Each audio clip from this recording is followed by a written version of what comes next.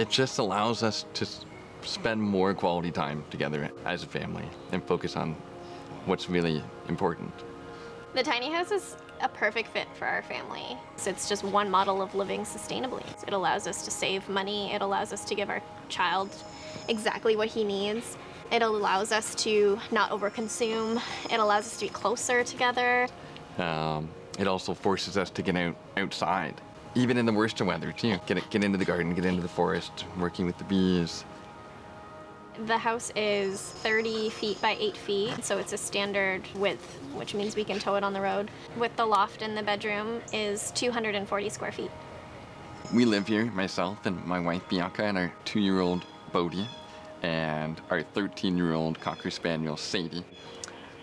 I'd like to live here for as long as we possibly can, and I think the house is big enough that we can adapt some of those rooms and, and maybe even build a, a second loft if we need to, um, as long as it's purposeful and, and we're still getting what we need out of it. I'd, I'd like to live in here for as long as possible. With us living on this primary piece of property as secondary residents, we take care of the property, the bees and the chickens and the gardens, and we maintain uh, the sanctity and the biodiversity of the property. And so, with the Land Steward model of living, there will be so many more opportunities if municipalities get behind it um, that, you know, folks who do uh, own a lot of land who are now aging can stay in their homes and have young people live on their properties to take care of it. It's such a beautiful model.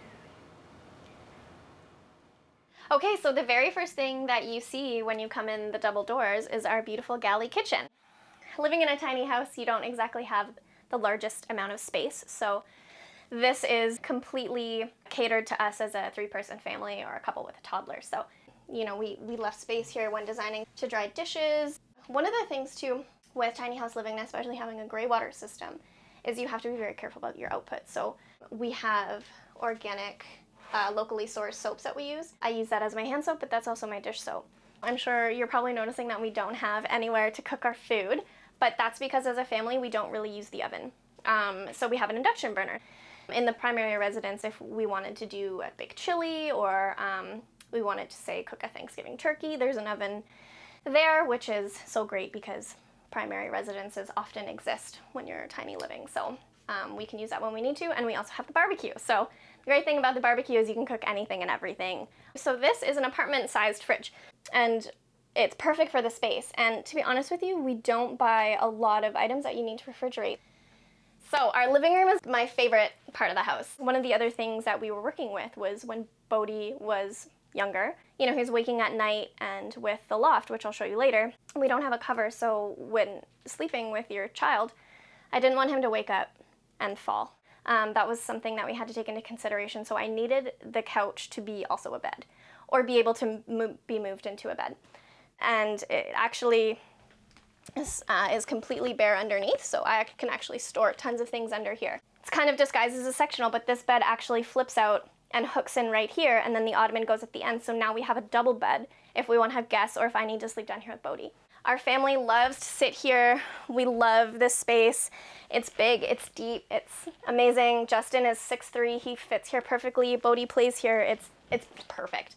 So this actually lifts up and this slides out. And so this is how we eat our dinner. So we just pull it out a little bit and Justin and I sit here and Bodhi sits here and we all eat dinner together. I also use this as my office. I do all my work here. I have the inspiration that I need from the garden and everything, so this is really great. Uh, this thing also has three drawers down the side and three drawers down that side. And then the other side, the panel flaps up as well, so we could also have potentially six people at this table. So that's where we keep our footwear in the summer. Um, so then in the winter, we have a three-tiered shoe rack right here where we store all of our bigger, more bulky shoes, rubber boots, all of the things. This is uh, nice and clear right now, but um, in the winter it's so great uh, to have that. And then so here uh, we can just slide this, we can hide it, and then all of our jackets get hung up right here, and then we can also slide this over and hide it. It's all very minimal, and of course in the summertime we don't need any jackets, so they don't exist here. This piece also serves as another huge integral piece of the tiny house. So we have three tiers. The bottom tier is typically served for um, things I use daily. We have our dog leash in here. I have my hairbrush in there. Um, I've got some sunglasses hanging here.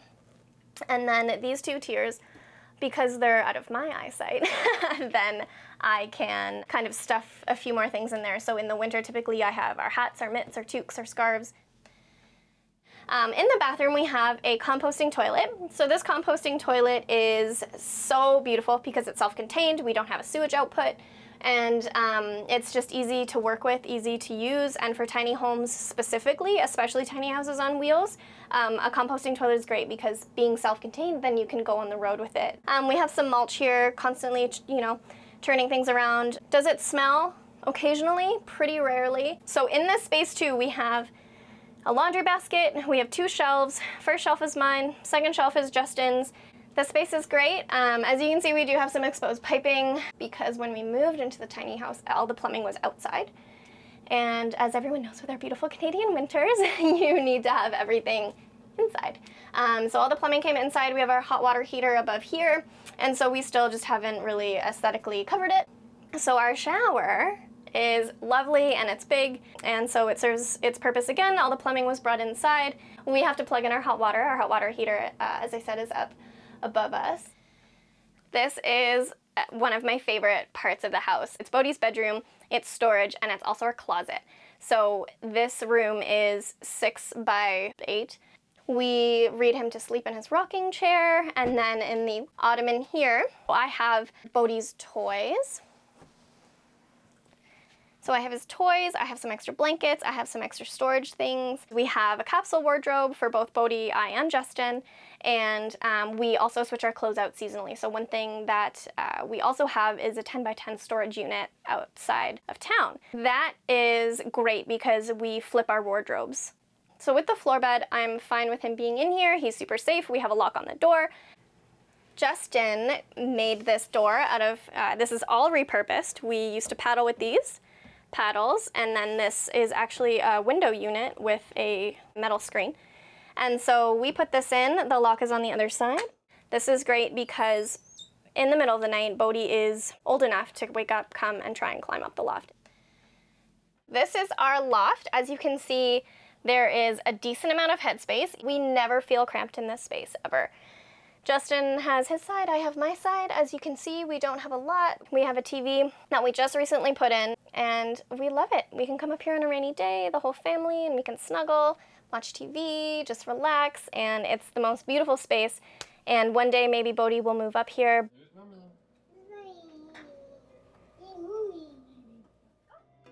So the cost just for the unit was 60,000 Canadian dollars.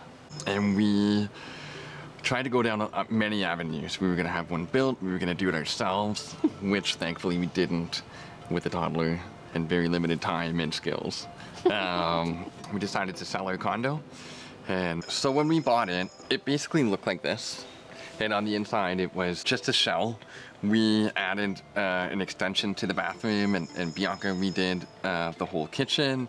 We put in the couch. Um, we did a little bit of work, but um, most of the big foundational work was already done. Our heating and cooling is uh, pretty simple. We have air conditioning up around the side so it's always in the shade. We also have some sun shade sails right in front of the house that cover strategic sections of the tiny house. In the winter, we have electric heat. So we have a small oscillating heater. It heats the entire place. The house is insulated so well. And then in Bodhi's room, we have kind of a coiled floor heater that we use for his bedroom. Uh, this winter, however, we will be getting a Cubic Mini, which we're very excited about. Uh, there's nothing more nostalgic than a wood stove. Our water is hooked up to the primary building here, uh, and then it's trenched and it's wrapped in PVC piping and it's insulated. Uh, it also has heat tape around it, and so that comes all the way to the tiny house underneath the trailer, and then right underneath the trailer, we have the pipes wrapped in heat tape.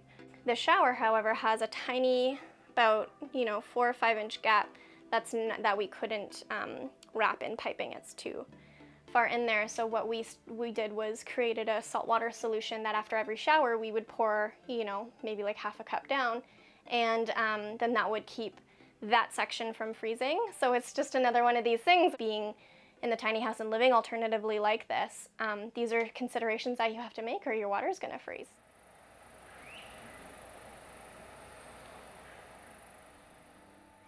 I'm a teacher at a land based Montessori adolescent school.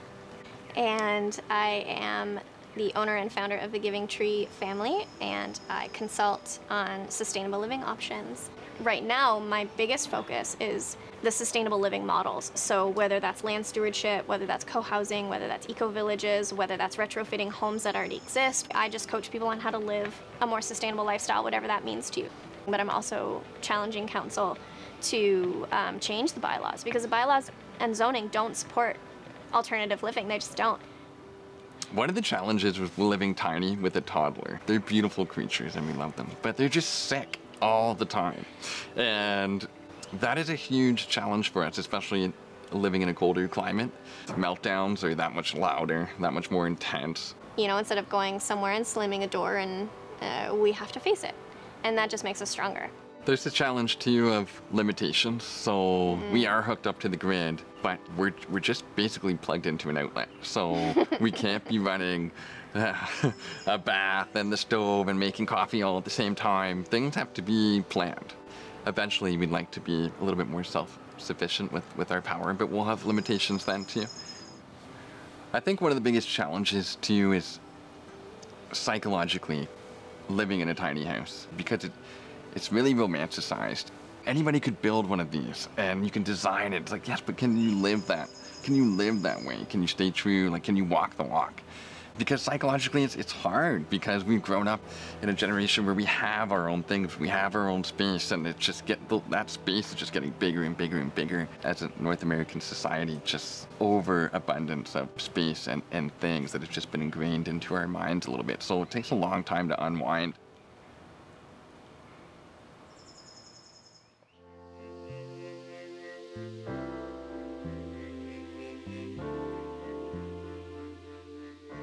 Ah, we're so ha- we're so happy here. Um, we had to risk a lot to, to come here, and um, I'm just proud of us for for taking those risks. In life, you have to take risk. Um, you don't want to look at back on at life and just say, "Oh, I didn't do it because ah, it was just too risky." And if that risk means that you're going to be happier, then you're trying to do everything in your power to, to do it. And um, this is just a reflection of our perseverance as a family. I'm very proud to say I live in a tiny house, and everybody's always asking about it, and it's, it's just a special place.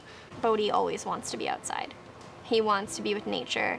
Seeing him just doing everything that he's doing is, it just blows my mind. And we could never have given him this had we not made this decision. It gives us a lot of gratitude. Like, we're really fortunate to, to be on a property like this. So, definitely, I think the long term goal is this philosophy of, of living purposefully, living simply, living on the land. I think that will always be with us, that we've definitely set the precedent for that now. There's no way we can go back. We've seen what this lifestyle can do for our family. We've never been happier. We've never been just connected as we are now. Definitely, this lifestyle is something that we're going to live for a long time.